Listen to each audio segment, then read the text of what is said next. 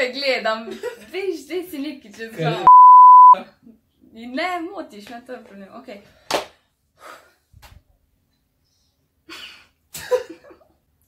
Za vas sem tokrat pripravila mal drugačen video, ki ni povezan z make-upom, ampak z mojo drugo najljubšo stvarjo in to je hrana. Mislim, da jem na splošno dokaj zdravo, se pa tudi te pregrešim, ker rada uživam v hrani. Izbrala sem si en dan v tednu in sem posnela vse obroke, ki sem jih tisti dan pojedla. Zjutraj, ko stanem, najprej spijem napitek iz zelenega čaja, ki je moje nadomestilo za kavo in s tem se tudi mal prisilim, da spijem zjutraj dosti tekočine. Zeleni čaj, ki ga pijem, je od uh, Nutrišna, zmešam si eno merico z uh, malo več, kot je priporočeno in sicer z 750 ml vode, zato ker je pač mi je to sladka pijača. Ta napitek dosti sladek, mi ponavadi ne paše jesti nič sladkega, torej kakšne kosmiče ali pa kaj podobnega. Um, tako da ponavadi si naredim kak sendvič, pa nekaj, nekaj slanega. no. No, zdaj pa si pogledamo moje obroke.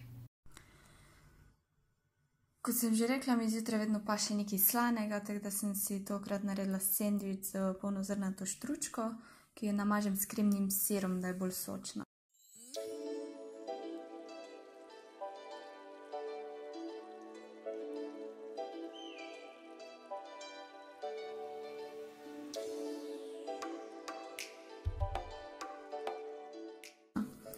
Uh, potem dodam te popečene poranje prsi iz Hofraga, ker vsak pravi študent ima poln hladilnih hoferjev oziroma lidlovih izdelkov. Na koncu vsakega obroka imam tudi napisane uh, kalorije, koliko ima en obrok, zato tako da si malo predstavljate. Za kosilo sem si zaželela solato z um, zeleno solato, paradižnikom, koruzo, mozzarelo in uh, z medaljončki.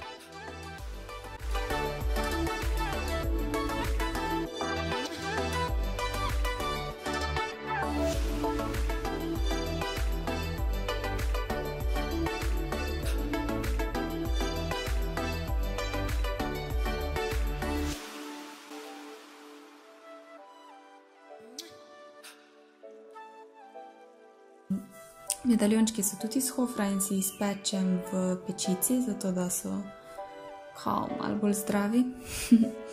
Pečem jih na peki papirja.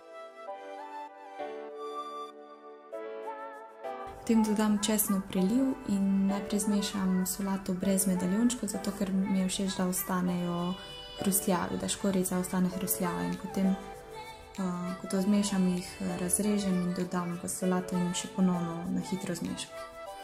Res je dobro, sploh se ti ne zdi, da ješ solato.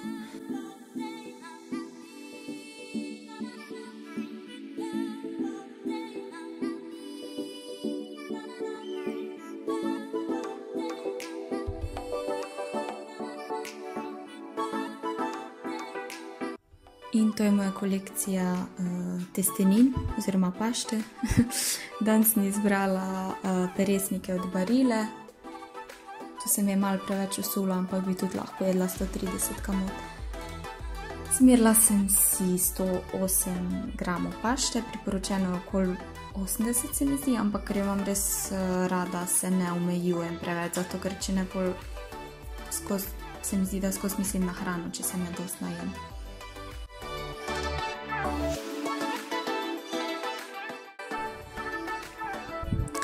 Bej, vsak pravi študent je enkrat na dan pašto. Zadnjič sem na Instagramu objavila um, ta obrok in napisala, da vsak pravi študent je vsaj enkrat na teden pašto in sem dobila par pritožb, da naj popravim teden z dnevom. se strinjam. Ja. Ne vsi vemo, kako se skuha, skuhajo testenine, potem dodam um, pelate. Všeč mi je, da je malo teksture, da nisem uh, paradižnikova omaka oziroma paradižnikova mezga. Potem dodam vse začimbe, uh, sol, česen, poper, uh, suha rdeča paprika, bazilika. Dodam tuno, ki odlijem olje, zato ker je v sončničnem olju in mi ni všeč, včasih jo tudi jo splaknem, da res ni nič olja. Potem dodam še malo te um, navadne meske, zato da je malo bolj, mal bolj tekoča omaka. Vse to premešam in potem dodam kuhano pašto.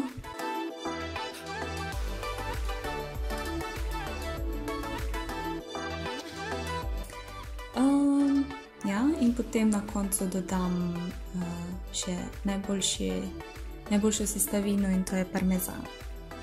Eh, s parmezanom tudi ne šparam neki. Zdaj, ne vem, mislim, da sem to pojedla naenkrat, včasih si naredim malo več in pojem v dveh uh, delih.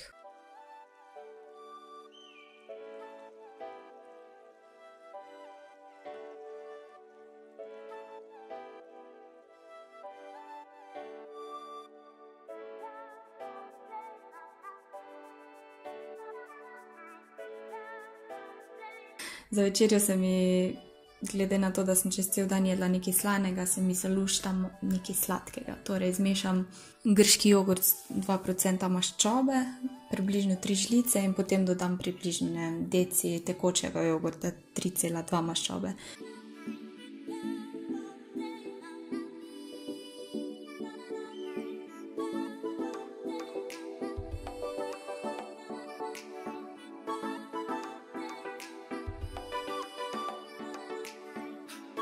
Ponavadi si jaz dam malo več, kot je priporočeno, mislim, da je 50 gramov uh, teh uh, kosmičev, jaz si dam okoli 70 gramov in imajo kar dosti kalorij, ampak se ne toliko s tem obremenjujem. Potem dodam celo banano, to v bistvu lahko vse to prepolovite, če zdi preveč.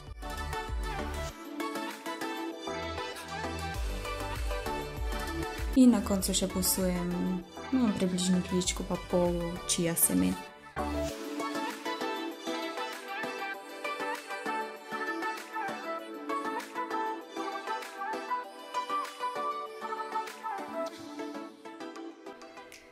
No, če vas zanima, kak je, tu je en odsek. No, skupni seštevek vseh obrokov čez dan pa je približno 1950 kalorij. Čisti informativno, če koga zanima. No, to so bili vsi obroki mojega dneva. Upam, da vam je bil video všeč. Če vam je bil video všeč, stisnite like. Če vam je bil pa res všeč, se pa naročite še na moj kanal.